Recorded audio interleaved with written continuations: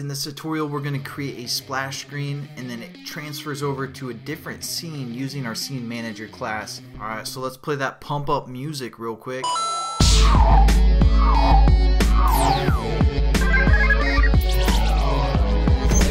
I owe you guys an apology because it has been way too long since I updated this series or done any work with mybringback for that matter.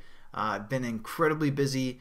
As you can see, it's well, you can't really see, but it's like 3 a.m. right now, and I felt really guilty and I needed to do a tutorial. So here I am, and hopefully it's a decent tutorial, but no promises. So the first thing that we need to do is set up our scene manager variable. Since we've created a scene manager, uh, we're going to use it now. So we're just going to call this scene manager. Pretty awesome, right? And also, we want to set up a camera called M camera. Kind of default to put M's before your variables, but I rarely do that. Anyways, uh, the reason we need to set up a camera is because when we pass in the information to our scene manager class, if we go back over here, our constructor takes in three parameters, the base game activity, the engine, and the camera. So we need to create a camera and pass it into this constructor uh, to get our scene manager going. So you'll see how this works out here in a second. Uh, the first thing that we want to do is go into our OnCreate engine options. Again, this gets called by default, and this is where we set up our camera. All we're going to do is delete this guy out here. Um, we don't want to be just a local scope or local variable within this method only. We're going to have it be our class variable. Okay, so now it's going to be pretty much the exact same camera. Everything's looking pretty good. Uh, we create our engine options as well here and we return those engine options which it's looking for. So nothing's really changed since the way that we originally set up our game activity. So let's go on to the onCreate resources. Previously all we did is we loaded or we called this function load graphics which is here we kind of set up all the graphics that we need for a game but instead what we're going to do is we're going to create our scene manager variable uh, get that set up um, so let's just comment out this load graphics here because we're going to no longer need that we're going to actually load the graphics from the scene manager class uh, that we set up if you guys remember I know it's been a while uh, so just go ahead and create our scene manager variable. We're going to set this equal to be a new scene manager, um, passing in the parameters that we need. For base game activity variable that we're going to pass in, that's going to be this class since this extends the base game activity. Um, so we're passing in this information within our scene manager so it knows uh, the base game activity.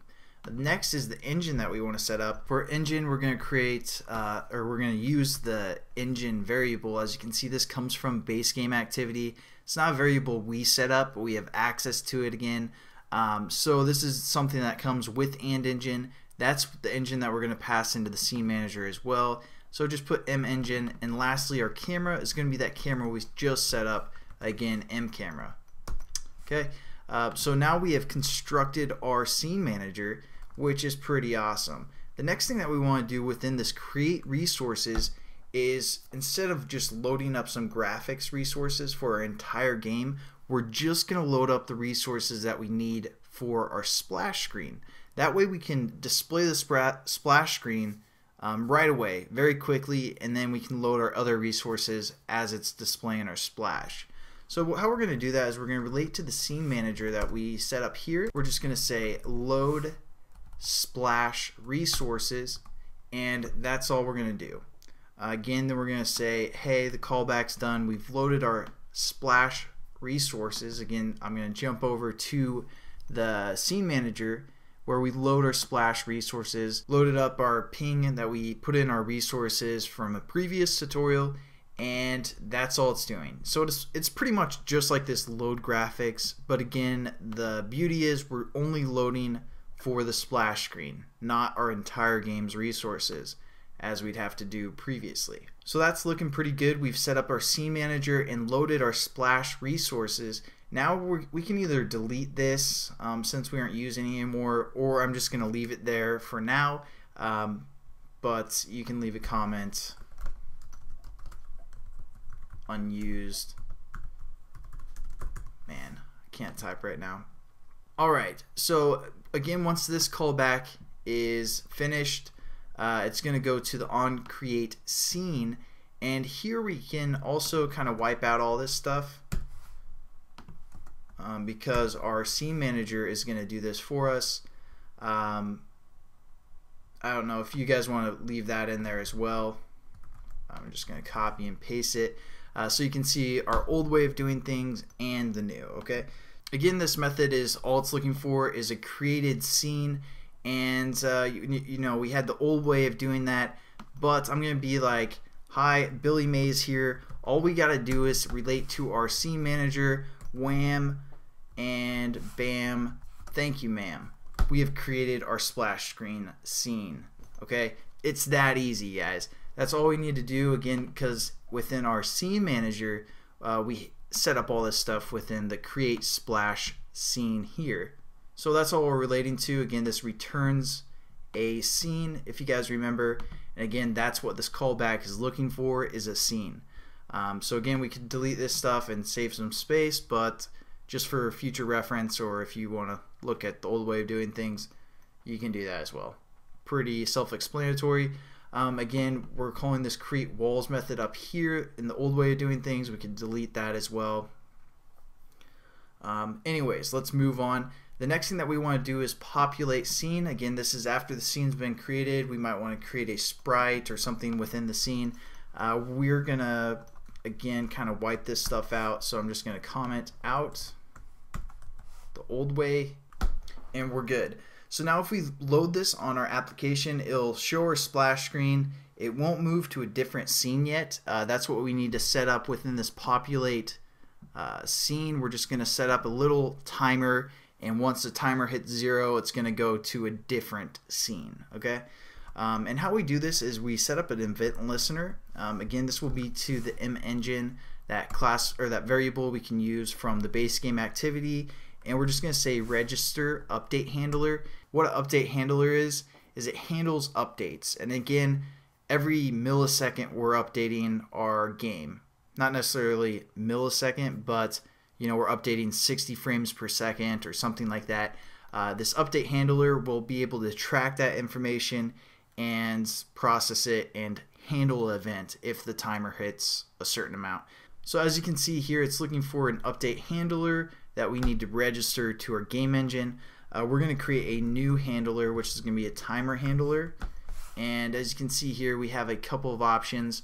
I'm going to put one that's uh, seconds, and it has a callback timer as well. So I'm going to click that there. Um, the seconds that we're going to allow this to wait is just going to be three seconds, and it's going to be a float value.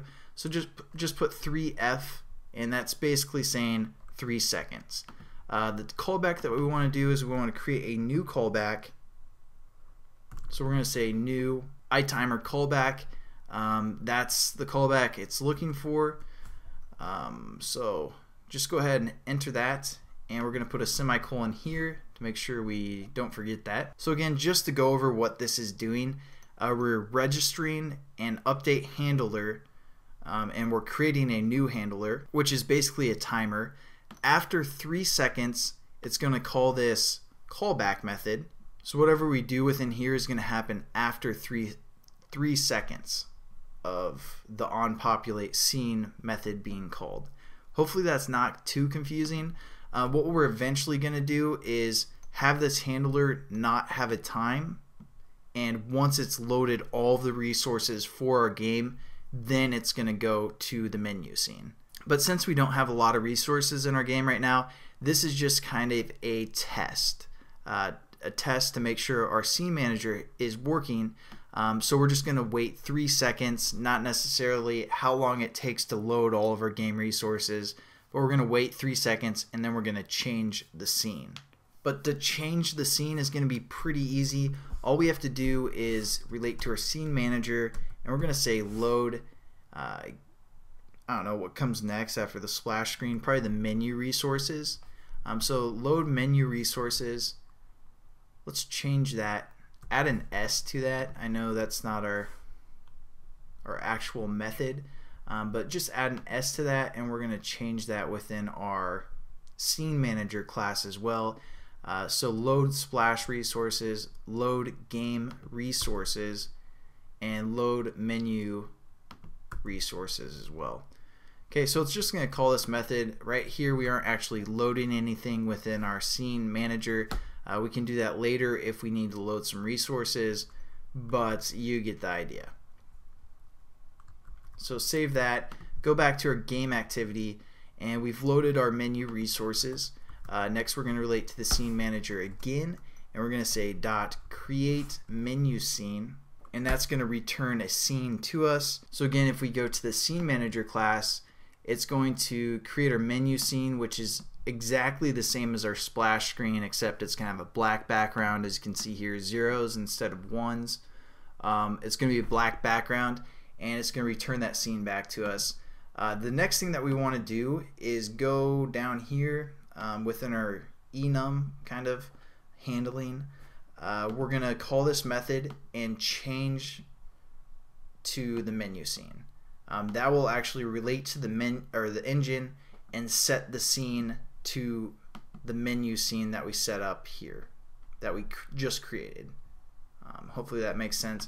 Uh, so let's just go back and do scene manager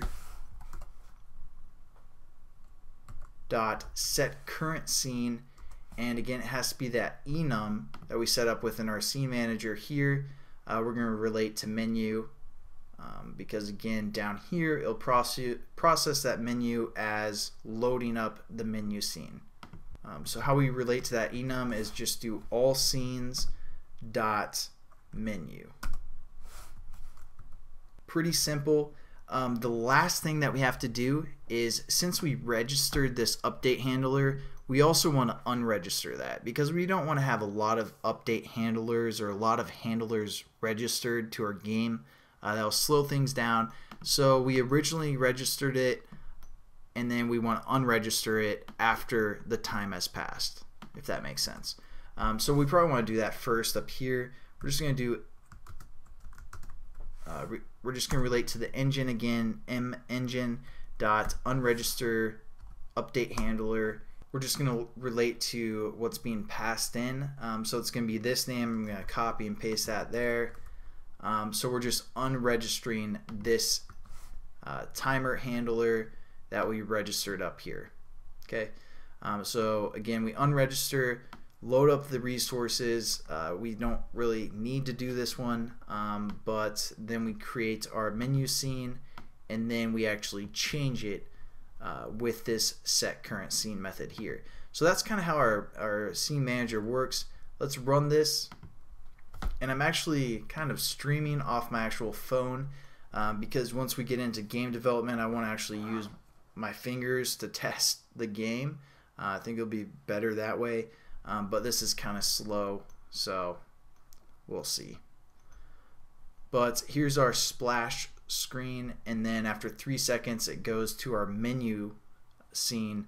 Both of them look pretty much the same, but our scene manager is working. That's how we use it. Pretty simple. Hopefully, it's not too confusing. If you guys have any questions or it's not making sense, just uh, leave me a comment and I'll try to address them. And again, guys, I apologize for taking so long to start creating these tutorials. It would really help motivate me if you guys could share these tutorials with other people or um, even like if you go onto our website, just click some of these buttons over here. Definitely would appreciate it. It uh, me stay motivated. It showed me that there's still a lot of interest in this and you guys still want the tutorials. Um, so it helped me to work harder and get more tutorials done and hopefully it'd bring more traffic to our site. Uh, so thanks guys for watching and I appreciate it. Click the subscribe button, also the like button on YouTube. We would love to see that as well. So thanks again guys and uh, see you in the next tutorial.